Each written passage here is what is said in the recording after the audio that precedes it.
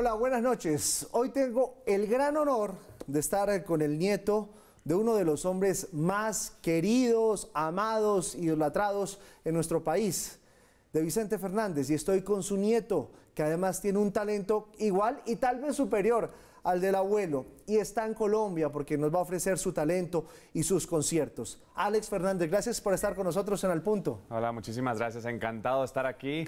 Feliz, mi primera vez en Colombia y me la estoy pasando increíble. Primera de muchas, Alex. Primera de muchas, Dios quiera. Porque le decía fuera de cámaras que si eh, Gran Vicente Fernández algún día se lanzara a la presidencia, aquí sería presidente 10 veces, porque si hay un mexicano colombiano que aquí queremos con el alma, es al Gran Vicente Fernández. Yo sé, y él también los quiere a ustedes eh, de igual manera. De hecho, él siempre ha dicho que él se considera mitad mexicano, mitad colombiano. Eh, mi papá también quiere mucho a Colombia y yo también los quiero mucho. No, aunque sea mi primera vez aquí, pues he visto el cariño que le han dado a mi familia y, en el rancho, cuando va, va, mucha gente colombiana al rancho a visitar, eh, y por las redes sociales también, el cariño de la gente colombiana es, es increíble.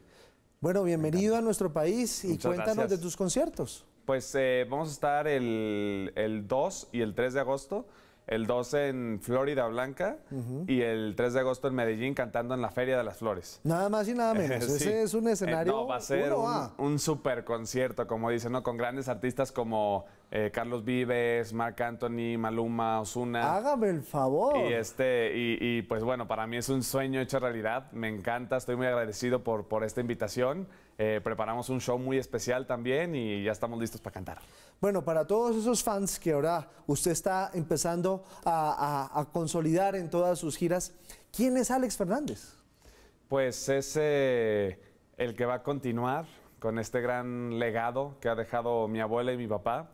Eh, y el hecho de que yo esté continuando con esta pues, dinastía es coincidencia, si lo quieres ver así, porque a mí, digo, oh, supongo pues que fue porque yo crecí con ese tipo de música en mi vida y por eso fue que, que es mi género favorito, ¿no? El mariachi, me encanta la música mexicana y fue por eso que decidí irme por este género, no tanto por el hecho de, ¿sabes qué? No me gusta el género, pero pues voy a ah, seguir, la, de corazón. Voy a seguir la dinastía, ¿no? No, fue más, más por el hecho de que es mi género favorito, porque de hecho, a excepción de mi abuelo, todo mundo me decía que era mala idea irme por este género, por las tendencias y las nuevas generaciones, que este género pues ya estaba pues muerto o apagado, ¿no? Que no era buena idea. Y pues yo les dije que, que a mí no me importaban las tendencias, yo de todas formas las tendencias siempre cambian. Entonces creo que es mejor hacer lo que a ti te gusta, ser auténtico y si tienes la bendición de que a la gente le guste lo que haces, pues ya la tienes hecha. Pues quien te dijo eso, pues estaba muy equivocado. No hay tendencia que amen más los colombianos que el mariachi. Mariachi que se respete prende todas las fiestas. así es. Oye, ¿no te da un poco de susto, digámoslo de la mejor manera, que sigas con este género y seas el legado en la dinastía de tu padre y de tu abuelo siendo quienes son? Claro, pues mira, es, es, una gran responsabilidad y es un honor poder seguir con, con, este legado, aunque creo que lo único que hace es que te pone en la mira, ¿no? En donde todo mundo te va a ver o muchísima gente te va a ver, te van a ver con mucha más expectativa de lo normal, pero al final del día, si les gusta eh, tu música, pues, o, todo lo que hagas en general, pues te va a ir bien, y si no, no.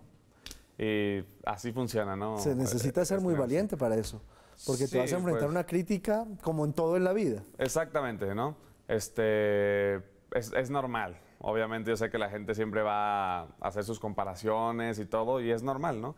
Este, yo en lo personal me enfoco en lo mío, en mis canciones, eh, en, nuestro producto, en conectar con la gente, en, que, en hacer, intentar transmitir sentimientos, ¿no?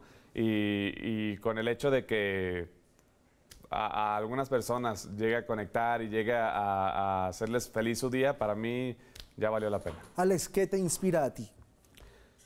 Puta, muchas cosas. O sea, la verdad es que, eh, bueno, pues te, te, inspira la familia, ¿no? El amor, la novia. Eh, bueno, la esa es la pregunta que viene después, ¿no? La vida, ¿no? Pues esta vida. Este, eh, los amigos, los los, los, padres, ¿no? Los abuelos, por, te lo digo porque viene una canción eh, que vamos a sacar de, que habla del padre, ¿no? De los papás también. Y, bueno, vienen muchos proyectos muy nuevos, muy, muy interesantes. Estamos eh, haciendo cosas innovadoras, estamos intentando, bueno, estamos preparando el segundo disco y estamos intentando eh, revolucionar un poco el mariachi para llegar a las nuevas generaciones. ¿Cómo es eso de revolucionar el mariachi? Sí, pues estamos agregando ritmos nuevos, e instrumentos nuevos, eh, nada radical, nada radical. Eh, no, no, es que sean instrumentos que, que, no, pero por ejemplo el acordeón, por un decir, ¿no? Este, estamos haciendo no me cositas el muy, país muy interesantes, muy interesantes, eh, que no quiero decir de más porque luego doy información de más, pero ya muy pronto van a poder escuchar esos proyectos. Pues ahí lo tienen, esos conciertos son absolutamente imperdibles porque además hay innovaciones de un hombre joven que está haciendo cosas muy buenas por el mariachi. ¿Tú escribes y compones tus mm, canciones? No lo he hecho, sí tengo ganas eh, eh, de hacer ya sea en el segundo disco o en algún sencillo alguna canción que sí sea mía, pero por el momento no, por el momento son todas de, autores o incluso covers de mi abuelo. En el disco que son canciones que a él le gustaban mucho, pero que cuando lanzas un disco, por lo regular, no sé, tiene 10 canciones y tres son las que la gente conoce y escuchan y se hacen muy populares y las otras se pierden, ¿no? Y de esas canciones que se perdieron o fueron opacadas por otros éxitos que a mi abuelo le gustaban mucho y él creía que tenían mucho potencial, quiso sacarlas acá en este disco cambiándoles el estilo, pero para darles otra oportunidad de que la gente las pueda escuchar como por ejemplo eh, lo primero que haría. Bueno, ¿qué te dijo tu abuelo cuando te sentaste le dijiste, mira, yo voy a seguir la dinastía y voy a seguir por el legado y tu camino? Pues él fue el que me dijo. La verdad es que ah. yo un día fui a cantar a su estudio de grabación, él tiene ahí en el rancho su estudio, por diversión, para cantarle por un regalo pues del 10 de mayo, el Día de la Madre, a mi mamá y a mi abuelita. Le grabé una canción a cada una y cuando me escuchó, sin preguntarme, me dijo, oye, te voy a manejar, te voy a hacer un disco y te voy a lanzar de cantante. Y me empezó a entrenar y empezamos con clases de canto y empezamos a hacer pues todo. Y así fue como empezó. ¿Y tu padre? Mi papá también, este, desde un principio nos apoyó, obviamente. Él estaba muy contento. Me dijo, hijo, yo lo que tú quieres hacer, yo no te voy a cortar las alas, yo te apoyo 100% en lo que tú quieras hacer en la vida y en lo que yo te pueda ayudar. ¿Y México cómo juega en el corazón tuyo? de tu pues mariachi y de tu música. Es mi casa, ¿no? Esas es las raíces. Eh, el mariachi, pues, ¿qué te puedo decir? Este, y lo que queremos hacer es, eh, pues, defender a México, ¿no? Llevarlo a, todo el mundo. El mariachi, puedes llevar el mariachi a todo el mundo. Viene un proyecto muy interesante que, pues, es justamente eso, ¿no? Es eh, intentar llevar el, el mariachi al mundo. Porque mucha gente dice que el mariachi es, ah, sí, es que tú cantas regional mexicano, ¿no? Y yo no creo que el mariachi sea regional mexicano, yo creo que el mariachi es internacional. Es universal. Exactamente. Para allá iba la pregunta. Lo, conocen pues en Japón, en India, en donde tú quieras, conocen el mariachi, ¿no? Perfectamente. y, lo que queremos hacer es explotar un poco eso.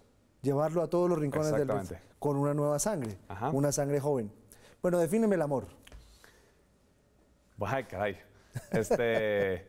Bueno, pues el amor se puede definir de diferentes maneras, ¿no? Hay, el amor es, pues, querer, ¿no? A alguien o a algo, este, a su máxima potencia, diría yo. Ya puede ser, este, a una pareja o, por ejemplo, tu familia, ¿no? Tu papá o algo.